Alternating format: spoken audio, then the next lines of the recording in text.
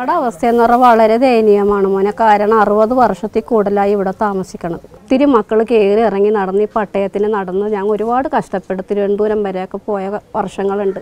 ഞങ്ങളുടെ കാര്യത്തിന് ഒരു നടപടി ഇതുവരെ ഉണ്ടായിട്ടില്ല. പട്ടയം തരൂലെന്ന് പറയുന്ന വകുപ്പ് എന്താണെന്ന് ഞങ്ങൾക്ക് ഇതുവരെ അറിയാൻ പാടില്ല. ജീവിതം എന്ന് പറഞ്ഞ് ഞങ്ങളുടെ ഞങ്ങൾ ഈ പറമ്പിൽ എല്ലാവരും അത്ര കഷ്ടപ്പെട്ടിട്ടില്ല ഞങ്ങൾ ജീവിച്ചത്. ഇറക്കൂട്ട ഞങ്ങൾ പോകൂല അങ്ങനെ ചെയ്യാൻ ഞങ്ങൾ സമ്മതിക്കൂല. ഞങ്ങൾ മാറൂല. ഞങ്ങളെ കൊന്നാലും ഞങ്ങൾ മാറൂല? ഞങ്ങളുടെ നെഞ്ഞത്ത് കൂടി കയറ്റേണ്ടി വരും. ചിലപ്പോൾ ഒരു പൊളിക്കാൻ കൊണ്ടുതന്നെ വാഹനം. എന്നാലും ഞങ്ങൾ ഇവിടെ നിന്ന് മാറൂല. കാരണം ഒത്തിരി ദുരിതങ്ങൾ ഞങ്ങൾ അനുഭവിച്ച് ഇന്ന് ഈ നിലയിൽ ഞങ്ങൾ ജീവിക്കണത്. ഞങ്ങൾ എവിടെ പോകും? ഞങ്ങൾക്ക് ഇപ്പൊ പട്ടയം കിട്ടണം. കൊച്ചി കേരളത്തിന്റെ മെട്രോ നഗരമാണ്. ഏതാനും മാസങ്ങൾക്കുള്ളിൽ കൊച്ചിയുടെ ഹൃദയത്തിലൂടെ മെട്രോ ട്രെയിൻ കുതിച്ചുപായും വികസനത്തിന്റെ ഈ തുടികൊട്ടൊന്നും അറിയാതെ തലചായ്ക്കാൻ ഒരിടമില്ലാതെ കഴിയുന്ന പച്ച മനുഷ്യരിലേക്കാണ് ഈ ലക്കം കാഴ്ചപ്പതിപ്പ് പ്രേക്ഷകരെ കൂട്ടിക്കൊണ്ടുപോകുന്നത്. മെട്രോ കൊച്ചിയുടെ പ്രൗഢിക്ക് ചേരാത്ത ഒരു കോളനിയിലേക്ക്. ആരാധ്യയായ കൊച്ചി മേയർക്ക് ഈ മാന്നുള്ളിപ്പാടം കോളനിവാസികൾക്ക് ഒരു നിവേദനം സമർപ്പിക്കാനുണ്ട്. കണ്ണീരിൽ ചാലിച്ച ഒരു നിവേദനം. ഈ നിവേദനത്തിൽ കാഴ്ചക്കാരായ നിങ്ങൾ കാഴ്ചപ്പതിപ്പിന്റെ പ്രേക്ഷകർ ഒരു കയ്യൊപ്പ് ചാർത്തിയാൽ അവരത് കൊച്ചിയുടെ മേയർക്ക് സമർപ്പിക്കും. അറുപത് വർഷമായുള്ള മന്നുള്ളിപ്പാടം കോളനിവാസികളുടെ കിടപ്പാടത്തിന് വേണ്ടിയുള്ള ത്യാഗങ്ങളിലൂടെ സഹനങ്ങളിലൂടെയാണ് ഇലക്കം കാഴ്ചപ്പതിപ്പിന്റെ സഞ്ചാരം. എല്ലാ പ്രേക്ഷകർക്കും കാഴ്ചപ്പതിപ്പിലേക്ക് സ്വാഗതം.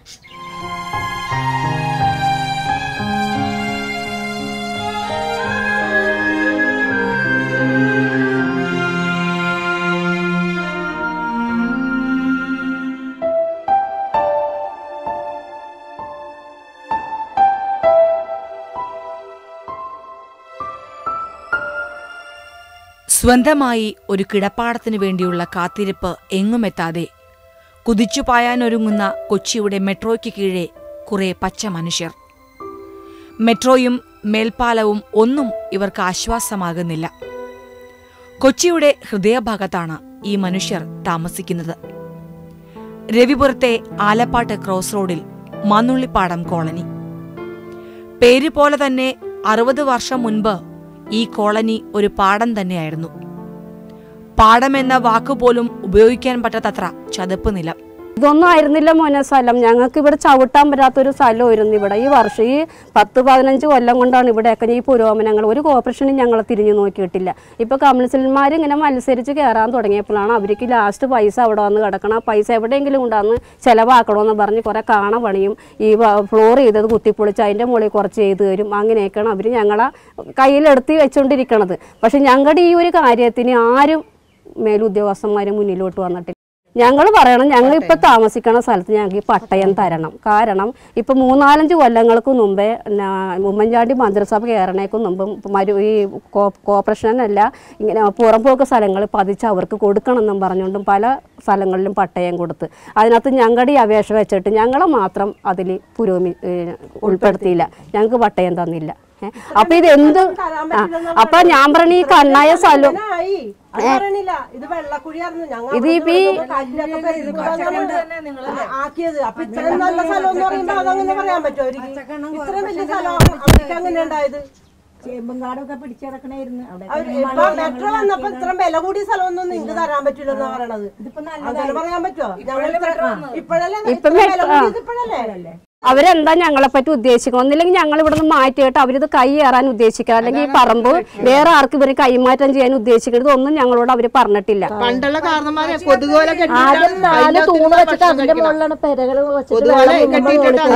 പത്ത് വർഷമായിട്ടുള്ള ഇവിടെ ഇപ്പൊ ഈ പുരോഗമനങ്ങൾ വന്നിട്ട് ഒരാൾ ഇതിന്റെ ഉള്ളിലേക്ക് കയറില്ലായിരുന്നു നാല് തട്ടടിച്ചിട്ട് അതിന്റെ മുകളിൽ പലക. പലകട പുറത്താ ഞങ്ങളൊക്കെ കയറിയിരിക്കണം ഒരു പല പുറത്ത് അന്നൊന്നും ഇവിടെ ഒരു മേയർമാരെ ഒരു കോർപ്പറേഷൻ ഉദ്യോഗസ്ഥരെ ഞങ്ങളെ തിരിഞ്ഞു നോക്കിയിട്ടില്ല. കോർപ്പറേഷന്റെ മാലിന്യം ശവം വരെ ഞങ്ങൾ വിളിച്ച് കൊണ്ടുവന്ന് മാറ്റിയിട്ടാണ് ഞങ്ങളുടെ പിള്ളേരെ പഠിപ്പിക്കുന്നത്. അന്ന് പഠിച്ച് ഉന്നത വിദ്യാഭ്യാസം ഉണ്ടാക്കണമെന്ന് ഞങ്ങൾക്ക് ആഗ്രഹമുണ്ട്. പഠിപ്പിച്ചെങ്കിലും പിന്നീട് ഒരു ബാങ്ക് ലോണ് മറ്റുള്ള കാര്യങ്ങൾ തരപ്പെടാതെ വരുമ്പോൾ വിദ്യാഭ്യാസം പകുതിക്ക് വെച്ച് ഓരോ നിർത്തി വെറും വാഴ പാഴ് ജന്മമായി പോവുകയാണ്. മൂന്ന് തലമുറ മുൻപ് ഈ കോളനി അറിയപ്പെട്ടിരുന്നത് പാട്ട കോളനി എന്നാണ്. പിന്നീടാണ് മാന്നുള്ളിപ്പാടമായത്. ഇപ്പോൾ കോൺക്രീറ്റ് ഇട്ട ഇടുങ്ങിയ റോഡും ചെറിയ കോൺക്രീറ്റ് വീടുകളും തേക്കാത്ത ചുവരുകളും പണിതീരാത്ത ഭിത്തികളും പിന്നെ പഴയ വീടുകളും ഇപ്പോഴുമുണ്ട്.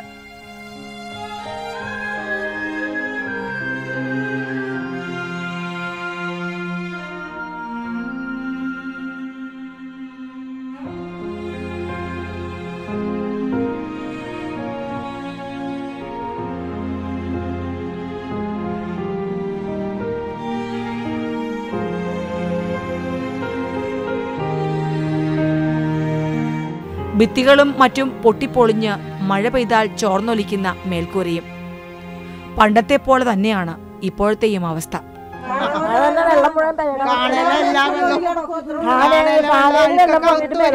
ഇത് പതിനഞ്ച് പത്ത് കൊല്ലം മുമ്പില്ലേ ഇവിടെ ആരും ഒന്നും ചെയ്യാണ്ടിട്ടിരുന്ന വെച്ചാണ്. ഞങ്ങൾക്ക് വരുമ്പോ ഒരു ചെറിയ ഷെഡ് മാത്രമാണ് ഇവിടെ ആ ഷെഡിൽ ഞങ്ങൾ ഈ കുഞ്ഞുങ്ങളെ പെറ്റി വളർത്തി ചവറ് അടിച്ച് നികത്തും. അത് കൈവണ്ടിക്ക് ഞങ്ങൾ പെണ്ണുങ്ങൾ തള്ളിക്കൊടുക്കണത്. അവിടത്തോളം വണ്ടി വരുള്ളൂ. അവിടുന്ന് തള്ളി കൊടുത്തിട്ടുണ്ടത് അത് ഈ എറണാകുളം ആസ്പത്രിയിലെ മാലിന്യം കൈയുണ്ടാവും കാലുണ്ടാവും എല്ലാം ഉണ്ടാവും. ഞങ്ങൾ കല്ലും കട്ടയും മണ്ണും ഒക്കെ ചുമന്നിട്ടാണ് ഇത് നികത്തിയെടുത്തത് ഇവിടെ പെരയുടെ ഉള്ളിൽ വെള്ളം കയറും അതായത് കിടക്കുമ്പോൾ എന്ന് വെച്ചാൽ മഴക്കാലം മഴക്കാലമൊക്കെ കഴിഞ്ഞാൽ വല്ല പെട്ടിപ്പുറത്താ അല്ലെങ്കിൽ പലകയൊക്കെ ഇട്ട് കല്ല് വെച്ചിട്ട് അതിന്റെ പുറത്തൊക്കെ അങ്ങനെ കിടന്ന് ജീവിച്ച ആൾക്കാരെ ഞങ്ങൾ അത്ര. എന്റെയൊക്കെ ഓർമ്മ വെച്ച കാലം മുതൽ ഞങ്ങൾ ഇതിനകത്ത് തന്നെയാണ്. ഈ കൊള്ളിയിൽ ഞങ്ങൾക്ക് വെള്ളമായിട്ട് കട്ടുമ്മ കയറി കൊച്ചുങ്ങളെ കരുത്തിയാണ് ആൾക്കാർ ഇരിക്കണ കഞ്ഞി വെച്ചുകൊണ്ട് കഴിക്കാൻ പറ്റില്ല. എന്ന് വെച്ചാൽ അഴുക്ക് ചാലിയിൽ കഞ്ഞിക്കര വരെ ഒഴുകി പോകും വെള്ളത്തിൽ കൂടി. അവർ രണ്ടു ദിവസത്തേക്ക് വെള്ളം പറ്റിക്കലും ഇതും ആർക്കും പണിക്ക് പോകുമല്ലോ ഒക്കെ കോഷൻ പണിക്കാരാണ്. എന്ന് വെച്ചാൽ അഴുക്ക് അവിടുത്തെ പണിയെടുക്കണം. വീട്ടിൽ വന്നിട്ട് ഈ അഴുക്ക് വീണ്ടും കോരി ഞങ്ങൾ പറ്റിക്കൊണ്ടിരിക്കണം. അപ്പോൾ ഇതിന് ഞങ്ങൾക്ക് വേണ്ടിയിട്ട് ചെറിയൊരു സങ്കടമാണല്ലേ നിങ്ങൾക്ക് ശരിക്കും? കോർപ്പറേഷൻ കോളനിക്കാരായ കോർപ്പറേഷന്റെ ജോലിക്കാരായ ഇവരെ സ്കാവഞ്ചേഴ്സ് എന്നാണ് വിളിക്കുന്നത്. അതായത് കൊച്ചി കോർപ്പറേഷൻ പരിധിയിലുള്ള അഴുക്കും കക്കൂസ് മാലിന്യങ്ങളും മറ്റ് ചീഞ്ഞളിഞ്ഞ നഗര മാലിന്യങ്ങളും പക്ഷിമൃഗാദികളുടെ ശവശരീരങ്ങളും എല്ലാം കോരുന്ന ഇവരിൽ ഭൂരിഭാഗവും അസുഖബാധിതരാണ്. എനിക്ക് പാട്ടങ്കോ പാട്ടങ്കോറിലായിരുന്നു ഞാൻ ആയിരത്തി തൊള്ളായിരത്തി അറുപതിൽ മുനിസിപ്പാലിറ്റിയിൽ കയറിയതാണ്. അന്ന് പകരപ്പണിയായിരുന്നു. പിന്നെ എഴുപത്തി നാലിലാണ് എനിക്ക് സീറോയത് അപ്പോൾ അന്ന് അത് തന്നെ പണി പാട്ട തന്നെ വരിക്കൽ പിന്നെ അതിക്ക് മുമ്പ് ഞാൻ ഇവിടെ വന്ന് പെര വെച്ചു. അപ്പോഴും എനിക്ക് പണി അത് തന്നെയാണ്. ആ കക്കൂസ് മാലിന്യ പണിയായിരുന്നു അന്ന്.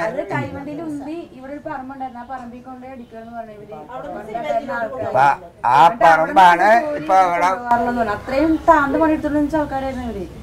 അപ്പൊ ഇവർക്ക് കൊടുക്കാൻ പറഞ്ഞപ്പോ ഇവിടെ സ്ഥലത്തിന് പൈസ കൂടാണ്ട് അങ്ങനെയാണ് ഇങ്ങനെ പറഞ്ഞാണ് ഓരോ ആൾക്കാരും തള്ളി നിറഞ്ഞു വെച്ചത്. പക്ഷെ ഇത്രയും കോർപ്പറേഷൻ ഇത്രയും കഷ്ടപ്പെട്ട് ഒരു പണിയുന്ന ആൾക്കാരല്ലേ? ഏറ്റവും തറപ്പണിയാണ് ചെയ്യണത്. അപ്പൊ അവർക്ക് കൊടുക്ക- കൊടുക്കാനാണ് ഇവർക്ക് ബുദ്ധിമുട്ട്. അവർക്ക് വേണ്ടി കഷ്ടപ്പെട്ട് രോഗികളായ ആൾക്കാരാണ് ഇവിടെ ഭൂരിഭാഗം ആൾക്കാർ മരിച്ച ആൾക്കാരും അങ്ങനെയാണ്. എന്റെ അമ്മ തീട്ടപ്പാട്ട വലിച്ചാണ് ഞങ്ങൾ വളർത്തിയതും ഞങ്ങൾ ഈ ചെളിയിലും വെള്ളത്തിലും ഒക്കെ ആയിട്ടാണ് ഞങ്ങളെ വളർത്തിയത്. എന്റെ അമ്മ വരുമ്പോഴത്തേക്കും ഈ മഴക്ക് ഈ തീട്ടത്തിൽ ഇങ്ങനെ മുങ്ങിയാണ് എന്നെ അപ്പം ഞങ്ങൾ എന്ത് അമ്മനെ കുളിപ്പിച്ചാണ് അകത്തോട്ട് കയറ്റണം. അത്രയ്ക്കും മണമാണ് വന്നേക്കണത്. അന്ന് ഇവിടെയൊക്കെ ഈ പറമ്പൊന്നും ഈ പറഞ്ഞ എന്ത് മലി ഞങ്ങൾക്ക് പോകാനോ പിടിക്കാനൊന്നും ഞങ്ങൾക്ക് സ്ഥലമില്ല ഞങ്ങൾ എവിടെയെങ്കിലും രാത്രി ആകുന്നവരെയാണ് കുത്തിയിരിക്കണത്. വയറ്റിൽ നിന്ന് പോകാനായിട്ടുള്ള സ്ഥലം വേണ്ടേ ഞങ്ങൾക്ക്. രാത്രി ആകുമ്പോഴാണ് ഞങ്ങൾ പോയി എവിടെയെങ്കിലുമൊക്കെ ഈ കണ്ടൊക്കെ ആയിരുന്നു. ആ കണ്ടത്തിലൊക്കെ പോയിരുന്ന് അരികത്തിരുന്ന് ഞങ്ങൾ കുറേ പേര് ഞങ്ങൾ ഇങ്ങനെ പോയില്ല ടിക്കറ്റ് മേടിക്കാൻ പോണ ആൾക്കാരുടെ പാട് ഞങ്ങൾ പോണത്. അത്രയും അന്നില്ല കക്കൂസ ഇല്ല. ഈ ഈ സ്ഥലത്ത് വീട്ടിൽ കക്കൂസ ഇല്ല ഞങ്ങൾക്ക്. അങ്ങനെയാണ് ഞങ്ങൾ ജീവിച്ചത്.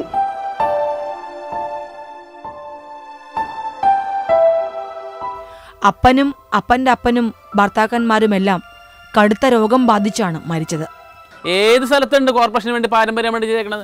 ഇവിടെ ഞങ്ങൾ പാരമ്പര്യമായിട്ട് എന്റെ എന്റെ അച്ഛന്റെ അച്ഛൻ അച്ഛൻ ഞാൻ. ഏ ഞങ്ങൾ അന്ന് വെച്ചാൽ അന്നൊന്നും പണിക്കാരില്ല. അന്ന് ഞങ്ങൾ തന്നെ പോണേണ് കൂടെ. അങ്ങനെയാണ് ആ പണിയിൽ ചെയ്യുന്നത് ആൾ നിൽക്കില്ല ഇപ്പം ഇന്ന് വേണമെങ്കിൽ കക്കൂസ മാലിന്യം കോരാനും. ഈ മാലിന്യം കോരാനും. ഇപ്പൊക്കെ ഇച്ചിരി ഗ്ലൗ ഒക്കെ ഇടണം. അന്ന് ഗ്ലൗ ഒന്നുമില്ല. ഞങ്ങളൊരു പട്ടിയത്ത് ഒരു ദിവസം ഒരു പട്ടിയത്ത് കടന്നിട്ട് അതിന്റെ പുഴു വന്നെടുത്തിട്ട് അത് എടുക്കണമെന്ന് നിർബന്ധം പറഞ്ഞു സാറ്. പിന്നെ അമ്പത് വയസ്സിൽ രണ്ട് കിറ്റ്. ഇട്ടിട്ടാണ് ആ വലിച്ചെടുത്തത്. അപ്പം ഞങ്ങൾക്ക് സേഫ്റ്റി ആയിട്ട് മൂക്കി ഒന്നുമില്ല ഒരു സാധനവും ഇല്ല അതുപോലെ ആരോഗ്യപരമായിട്ട് ഒരു സാധനം ഞങ്ങൾക്കില്ല. ഒരു ഹെൽത്ത് ചെക്കപ്പ ഒന്നുമില്ല. ഞങ്ങളത് ചെയ്യുന്നുണ്ട് ഞങ്ങൾക്കത് നാണക്കേടൊന്നുമില്ല. ഞങ്ങൾ ആ പണി ഞങ്ങളുടെ സ്വന്തം ജോലി എന്ന് പറഞ്ഞ് ഞങ്ങൾ ചെയ്യുന്നുണ്ട് പക്ഷേ ഈ ചെയ്യുന്ന ആൾക്കാരോട് ഒരു ബഹുമാനം ഇവർ കാണിക്കണ്ടേ? ഒരു മാന്യത.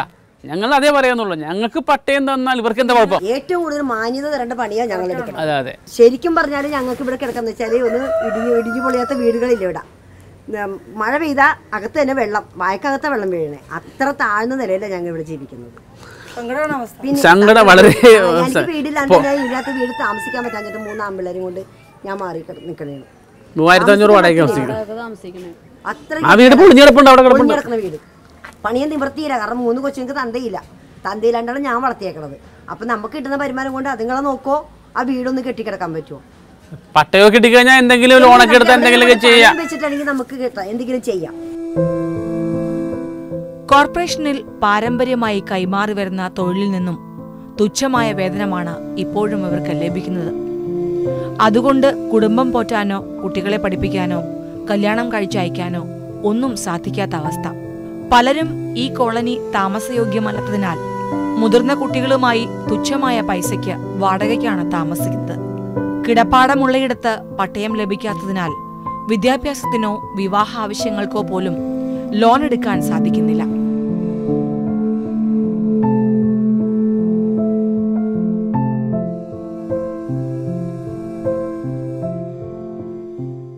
ഒരേക്കർ അറുപത്തിമൂന്ന് സെന്റുള്ള മന്നുള്ളിപ്പാടം കോളനിയിൽ മുപ്പത്തിയാറോളം കുടുംബങ്ങളാണ് താമസിക്കുന്നത്. കഴിഞ്ഞ അറുപത് വർഷത്തിലേറെയായി ഈ കോളനിയിലെ സ്ഥിരതാമസക്കാർ ആയിരത്തി തൊള്ളായിരത്തി എൺപത്തി ഒൻപത് മുതൽ പട്ടയത്തിനുള്ള ശ്രമങ്ങൾ ഊർജിതമാക്കിയതിനെ തുടർന്ന് ഇവരുടെ അപേക്ഷ പരിശോധിച്ച് പട്ടയം അനുവദിക്കാൻ സർക്കാർ നഗരസഭയ്ക്ക് ഉത്തരവ് നൽകിയെങ്കിലും തുടർ നടപടി ഒന്നുമുണ്ടായില്ല. കോർപ്പറേഷൻ പറയുന്നത് ഇവിടെ കോർപ്പറേഷന്റെ സ്ഥലമാണ്. ഈ സ്ഥലത്ത് പട്ടയം തരാൻ അവർക്കൊരു ബുദ്ധിമുട്ട് ഉണ്ടെന്നാണ് പറഞ്ഞിട്ടുള്ളൂ. പക്ഷേ മറ്റെല്ലാ തലങ്ങളിലും കലക്ടറിന്റെ ഇതിലൊക്കെ ഞങ്ങൾക്ക് തരാൻ വേണ്ടിയുള്ള ഇതെന്നാണ് അതിന്റെ രേഖകളൊക്കെ എന്റെ കയ്യിലുണ്ട്. അവിടെ നിന്ന് കൗൺസിൽ വെച്ച് പാസ്സാക്കി തരാവുന്ന കാര്യങ്ങളേ ഉള്ളൂ ഇതെല്ലാം. അപ്പോൾ അവരൊരു തട്ടാമുട്ടി പറയണമെന്ന് വെച്ചാൽ അവർ ഇതേപോലെ സ്ഥലങ്ങൾ എല്ലായിടത്തും കുറേ സ്ഥലങ്ങളിൽ പട്ടയം കിട്ടാത്ത ഒരു ആൾക്കാരുണ്ട്. അല്ല അവർ താമസിക്കുന്നുണ്ട്. അപ്പോൾ അവർക്കും കൊടുക്കേണ്ടി വരും. ഞമ്മർക്ക് കൊടുക്കണം.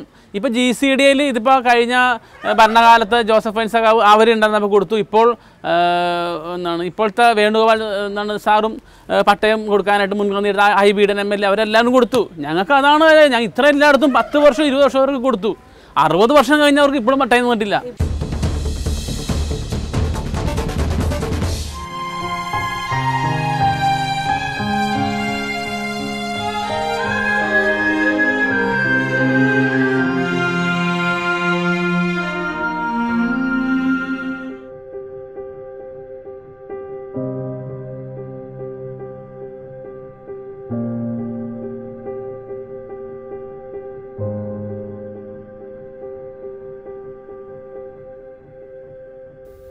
ആയിരത്തി തൊള്ളായിരത്തി തൊണ്ണൂറ്റി ഒൻപതിൽ സ്ഥലം അളന്ന് സ്കെച്ച് തയ്യാറാക്കുന്നതുവരെ എത്തിയ നടപടി. ആരുടെയൊക്കെയോ സ്വാർത്ഥ താൽപര്യങ്ങൾക്കു വേണ്ടി നിലച്ചു പോവുകയാണുണ്ടായത്. രണ്ടായിരത്തി പതിമൂന്ന് ഫെബ്രുവരി ഏഴിന് പട്ടയം അനുവദിക്കുന്നതിനു വേണ്ടി കോളനിവാസികൾ ജില്ലാ കളക്ടർക്ക് അപേക്ഷ സമർപ്പിച്ചതിനെ തുടർന്ന് മാർച്ച് അഞ്ചിന് കളക്ടർ മൂന്ന് സെന്റ് വീതം അനുവദിച്ച് കത്ത് നൽകി. കോളനിയുടെ സ്ഥലം തദ്ദേശ സ്വയംഭരണ വകുപ്പിന്റേതായതിനാൽ പതിച്ചു നൽകാൻ കളക്ടർ കോർപ്പറേഷൻ സെക്രട്ടറിക്ക് നിർദ്ദേശം നൽകിയിരുന്നു. പക്ഷേ ഇതുവരെ അത് നടപ്പായില്ല. കോർപ്പറേഷനിൽ സംഭവം അവതരിപ്പിച്ചിട്ട് പോലുമില്ല എന്നതാണ് സത്യം. ഏറ്റവും സങ്കടകരമായ അതാണ്. ഒരു കൗൺസിൽ എതിർക്കണ്ടേ? ഒരു കൗൺസിലിൽ പത്ത് എഴുപത്തിനാലുള്ള കൗൺസിലിൽ ഒരാൾ എനിക്ക് എന്ന് പറയണ്ടേ? ഞങ്ങൾക്ക് വേണ്ടി പറയാൻ ആരുമില്ല. മന്നുള്ളിപ്പാടത്തെ താമസക്കാരനായ ടി ഒ സെബാസ്റ്റിന് രണ്ടായിരത്തി ഒന്നിൽ പട്ടയം ലഭിച്ചപ്പോൾ എന്തുകൊണ്ട് തങ്ങൾക്ക് ലഭിക്കുന്നില്ല എന്നതിന്റെ സാങ്കേതികതയും കോളനിക്കാർക്ക് മനസ്സിലാവുന്നില്ല. മാറി മാറി വരുന്ന ഭരണാധികാരികളിൽ വിശ്വാസം നഷ്ടപ്പെട്ട മന്നുള്ളിപ്പാടം കോളനിവാസികൾ ഇത്തവണ തദ്ദേശ സ്വയംഭരണ തെരഞ്ഞെടുപ്പ് ബഹിഷ്കരിക്കാൻ ഒരുങ്ങി. ജീവൻ ടിവിയിൽ വന്ന വാർത്താ ശ്രദ്ധയിൽപ്പെട്ട മുൻ മേയർ ടോണി ചെമ്മണിയും ഹൈബി ഇടൻ എം എൽ എയും കോളനി സന്ദർശിച്ച് പ്രശ്നം പരിഹരിക്കാമെന്ന് ഉറപ്പ് നൽകിയതിനെ തുടർന്ന് അതിൽ കുറേ പേർ വോട്ട് ചെയ്തു. പക്ഷേ മുൻ മേയറിലും അവർക്ക് വിശ്വാസമില്ല. ഇനി അവർക്ക് വിശ്വാസമുള്ളത് പുതിയ മേയറിൽ മാത്രമാണ്. കൂടാതെ എം എൽ എ ഹൈബി ഇപ്പം ഇപ്പോൾ ഈ കഴിഞ്ഞ ഇതിൽ ഇവിടുത്തെ പുതിയ മേയറായ സൗമിനി ഞാനാണ് വന്നിട്ട് ആ ഫ്രണ്ടിൽ കുറേശ്ശെ ഇത് ഈ കാണുന്ന ഇതിൽ ഞങ്ങൾക്ക് ചെയ്തു തന്നിട്ടുണ്ട്. അന്ന് ഇവിടുത്തെ കൗൺസിലർ ഈ കഴിഞ്ഞ കൗൺസിലിൽ സൗമിനി ജയനായിരുന്നു.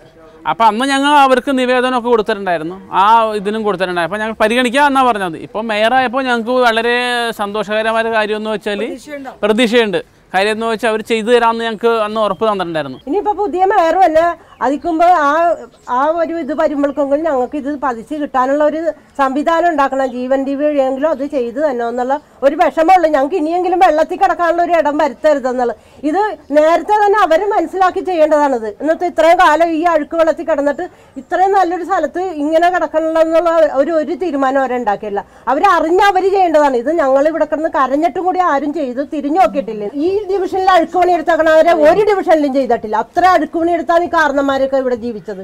ഇപ്പൊ അതിന്റെ മക്കൾ മക്കളുടെ മക്കൾ ഒരു നാല് തലമുറ കുറഞ്ഞ് ഉള്ളതാണ് ഇവിടെ. ഞങ്ങൾക്ക് ദയാനീയമായ സങ്കടമാണ്. കാരണം ഞങ്ങളെ അത്രയും കഷ്ടപ്പെട്ട്. ഞങ്ങളുടെ പിള്ളേർക്കെങ്കിലും ഇതൊരു ഇതായിട്ട് കിട്ടണമെന്നുള്ള ഒരു ആഗ്രഹമാണ് ഞങ്ങൾക്ക്. അത് ഈ കൊച്ചിൻ കോർപ്പറേഷൻ മേയർ വിചാരിച്ച് ഞങ്ങൾക്ക് തരണം. ഞങ്ങൾക്ക് ഇത് കിട്ടുമെന്നുള്ള ഒരു പ്രതീക്ഷ അവർ തന്ന ഞങ്ങൾക്ക് അത് ഏറ്റവും അനുഗ്രഹമായിരിക്കുള്ളൂ ഇവിടെയുള്ള എല്ലാവർക്കും. ഞങ്ങൾ കുഞ്ഞുങ്ങൾക്ക് പഠിക്കാൻ ഒരു സർട്ടിഫിക്കറ്റിന് എന്തിനും വിലയില്ല? കോളനി താമസിക്കുന്ന കോളനിക്കാർക്ക് എന്ത് ബാങ്ക് ലോൺ ഒരു ലോൺ കിട്ടില്ല. ഒരു ബാങ്കിൽ ചെന്ന് അഞ്ഞൂറ് എടുക്കണമെങ്കിലും ബാങ്ക് ലോൺ നമുക്ക് പട്ടയമില്ല ഈ നമ്മൾ കൂലിപ്പണി എടുത്ത് ജീവിക്കും. കോർപ്പറേഷന്റെ പണി എല്ലാവരും കോർപ്പറേഷന്റെ പണിക്കാരാണ്. അവർക്ക് എന്ത് കാര്യമുണ്ട്? ആ കിട്ടുന്ന കാശ് അവിടെ ഇവിടെ കൊന്നു കൊടുക്കാനുള്ളൂ. നമുക്ക് ബാങ്ക് ലോൺ എടുക്കണമെങ്കിൽ പട്ടയം വേണമല്ലോ. ഞങ്ങളുടെ സങ്കടം പറയാനാണ് സമർപ്പിക്കുന്നതിന് മേയർ മേയർ അധികാരത്തിൽ വന്നത് സമർപ്പിക്കുന്ന ജീവൻ ജീവിയാണ് ഞങ്ങളുടെ ഒപ്പം ഇപ്പം നിൽക്കുന്നത്. ആ ഒരു വിശ്വാസത്തിൽ ഞങ്ങൾ പ്രതീക്ഷ പ്രതീക്ഷ ഉണ്ട് ഞങ്ങൾക്ക് കിട്ടുമെന്നുള്ള പ്രതീക്ഷ ഉണ്ട് ഞങ്ങൾ എല്ലാവരും കൂടി ഒരു നിവേദനം കൊടുക്കാൻ പോവുകയാണ്. ഞങ്ങൾക്ക് പട്ടയം തരണമെന്ന്. ഇനി അവരാണ് ഇതിനു വേണ്ടി ഞങ്ങൾക്ക് വേണ്ടി ഞങ്ങളുടെ സഹായങ്ങൾ ചെയ്തു തരേണ്ടത്. കണ്ണീരായിട്ട് ഞങ്ങൾ പറയണേന് ഈ വന്ന മേയറോട് താഴ്മയായിട്ട് ഞങ്ങൾ ഈ നിവേദനം വെച്ച് കഴിഞ്ഞിട്ട് ഞങ്ങൾക്ക് ഇവിടെ തരാനുള്ള ഇത് ഞങ്ങൾ തന്നെ കോർപ്പറേഷന്റെ മാലിന്യങ്ങൾ ചുമക്കുന്ന ഇവരെ മറ്റാരേക്കാളും കോർപ്പറേഷന് നന്നായി അറിയാം. അറിയില്ലെന്ന് നടിക്കരുത്. മെട്രോ നഗരത്തിലെ കോട്ടും സ്യൂട്ടുമിട്ട ഏമാന്മാരുടെയും മറ്റുള്ളവരുടെയും കക്കൂസ് മാലിന്യങ്ങളും മറ്റ് മാലിന്യങ്ങളും തലമുറകളായി ഒരു മടിയുമില്ലാതെ കോരുന്ന ഇവർക്കാണ് പ്രഥമ പരിഗണന നൽകേണ്ടത്. എന്റെ അമ്മ എന്റെ അമ്മ കോർപ്പറേഷൻ പണിക്കാരുണ്ട് ഞാൻ തീട്ടപ്പാട്ട് വലിച്ചിട്ടുണ്ട്. ഞാൻ ആദ്യമായിട്ട് കോർപ്പറേഷനിൽ പണിക്ക് വന്നപ്പോൾ അന്ന് മണികണ്ഠന്റെ ഓട്ടോമൊബൈൽസ് ഇരിക്കുന്ന സ്ഥലത്ത് പാട്ടക്കുറ്റി ഇറക്കുന്ന സ്ഥലമാണ്. ഞാൻ തേവര പോലീസ് സ്റ്റേഷനിലൊക്കെ പോയി പാട്ടക്കുറ്റി എടുത്ത് ഇവിടെ കൊണ്ടുവന്ന് വെച്ച് ലോറിക്കകത്ത് കയറ്റി വിട്ടിട്ടുണ്ട്. എന്റെ കൂടെ പണിത ആൾക്കാർ ഇപ്പോഴും നിലവിലുണ്ട്. പാട്ടപ്പണിക്ക് വന്ന. ആ നിലവിൽ ഞാൻ വന്ന അന്ന് എനിക്ക് ശമ്പളം നാല് രൂപയായിരുന്നു ആ നാല് രൂപ തൊട്ട് ഞാൻ പണിയെടുത്ത് ഇത്രയും കാലം ഇവിടെ വന്നു. ഞങ്ങൾ ഇവിടെ വന്ന് താമസിക്കാൻ നേരത്ത് ഇത് വെറും കണ്ടക്കുഴിയായിരുന്നു. പിന്നെ ഞങ്ങൾ തന്നെ റോട്ടിൽ നിന്നും കാണിനൊക്കെ മണ്ണൊക്കെ ചുവന്നുകൊണ്ടിട്ട് ഇവിടെ ലെവൽ ചെയ്തെല്ലാം ചെയ്യാൻ കഴിഞ്ഞപ്പോഴത്തേക്കും ഇപ്പോൾ കോർപ്പറേഷന്റെ ഉദ്യോഗസ്ഥന്മാർക്ക് ഈ സ്ഥലം വേണം. ഞങ്ങൾ വന്ന് താമസിക്കുമ്പോൾ പനമ്പിള്ളി നാറ് ഗിരുനാറ് ഇതൊക്കെ കണ്ടങ്ങളാണ്. അങ്ങനെ പേരില്ല അവിടെ. പനമ്പിള്ളി നാറ് ഗിരുനാർ എന്നുള്ള പേരില്ല. വെറും ഇവിടെ ഞങ്ങളുടെ കണ്ട ഭൂമിയായിരുന്നു അങ്ങോട്ട് ഇവിടെ ബാത്റൂമിൽ പോകാൻ പോലും ആൾക്കാർ ബുദ്ധിമുട്ടിയിട്ടുണ്ട്. രാത്രിയാകാൻ കാത്തിരുന്നിട്ട് കാണയിലൊക്കെ പോയാണ് ഞങ്ങൾ ഇരിക്കണം വണ്ടി വരുമ്പോൾ എണിച്ചു നിൽക്കും. വണ്ടി പോയി കഴിയുമ്പോൾ പെണ്ണുങ്ങൾക്കാണ് ഏറ്റവും കൂടുതൽ കഷ്ടപ്പെടാനായിട്ടുള്ളത് ബാത്റൂമിൽ ഇരിക്കാൻ. അത്രയും ബുദ്ധിമുട്ട് നമ്മൾ ഇത്രയും കൊല്ലം കോർപ്പറേഷന് വേണ്ടി ജോലി ചെയ്ത് ഇവിടെ വന്ന്. ഇപ്പൊ ഞങ്ങൾ ഈ തവണ വോട്ട് വോട്ട് ചെയ്യില്ലെന്ന് പറഞ്ഞു.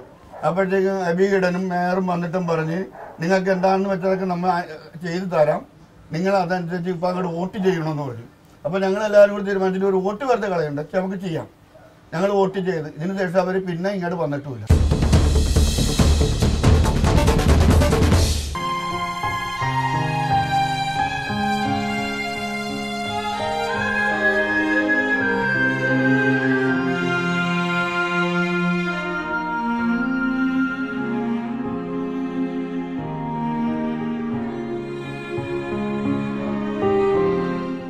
അര സെന്റും ഒരു സെന്റും രണ്ട് സെന്റിലുമൊക്കെ താമസിക്കുന്ന ഇവർക്ക് കിടപ്പാടം നിഷേധിക്കുന്നത് ക്രൂരതയാണ്.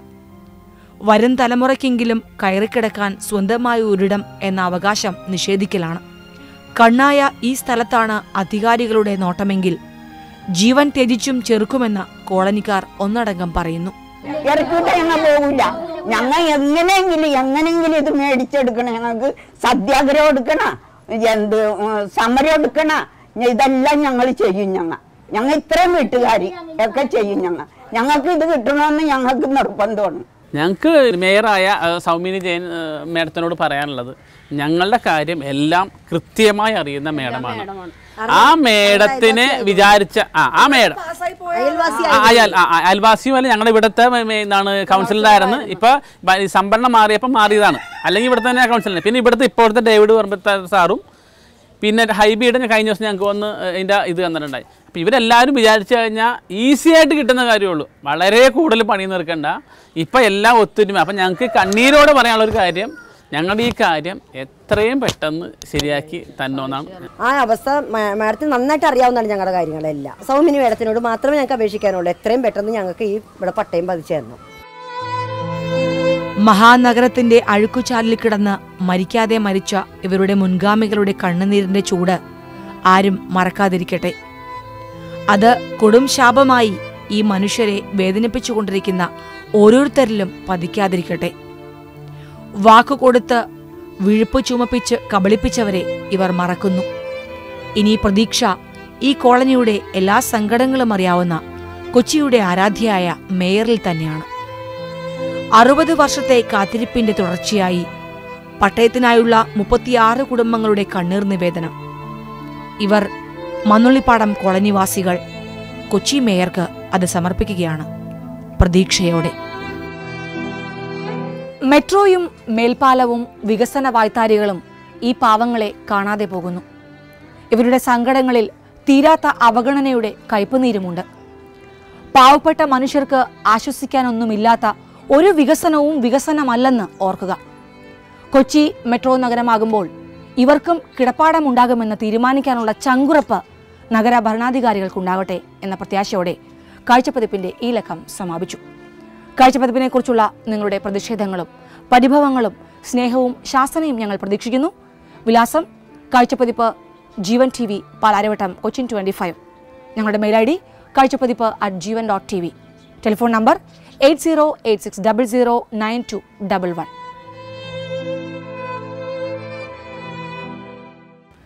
കാഴ്ചയെയും കാഴ്ചയിൽ പെട്ടുപോയവരെയും കാഴ്ചയിൽ നിന്ന് പുറത്താക്കപ്പെട്ടവരെയും ഒരു കാഴ്ചയ്ക്കും വേണ്ടാത്തവരെയും കുറിച്ചുള്ള കാഴ്ചപ്പതിപ്പ്. ഇനി അടുത്ത ശനിയാഴ്ച രാത്രി പത്ത് മുപ്പതിന്. നമസ്കാരം.